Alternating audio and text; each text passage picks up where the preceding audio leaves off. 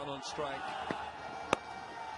And he's just has one area of the ground in mind, and that is square and back wicket out there, and deep extra square. Everyone's out in front. And he carves it over third man for six. It's a good hit. Second over now. Big hit. Straight into the Cumberland Cricket Club, into the members. Umar playing straight. This is a terrific beginning for Pakistan. What a lovely hit. In the slot, but they still have to be put away. Perfectly executed. Straight follow through the blade. This man's got talent. Over extra it goes. It's another six. And Pakistan are running away with this. They need. Akmal down on one knee. Even bigger. Where's this gone? Miles. It's gone into the trees. It's gone into the Botanic Gardens. He'll be looking for another here. He has got a top edge for four. Don't have a choice. Akmal, 29 from six. Add another four. And Akmal retires 33 uh, not out. Brilliant innings again from him. 33 not out from six. That could be a, a no ball. It might be. Just have a look at the umpire here. It's four. Those are the markings. Plain to see. That's in the air, and the fielder getting under it who takes it. So that's the first wicket to fall for Pakistan. It is now taking strike. Smashed it past Dinesh Karthik for four. Thought about putting his hand in the way, but Sohail Tanvir. He's, he's got a nick, and he's got an edge, and he's on his way back. That's the end of one ball to go, and they've taken two wickets. So they're well and truly back into this contest.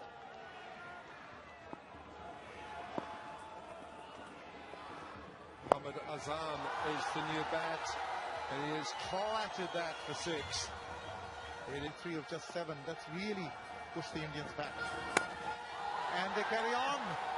Getting down onto his knee, getting under it. And straight over the top. His first delivery.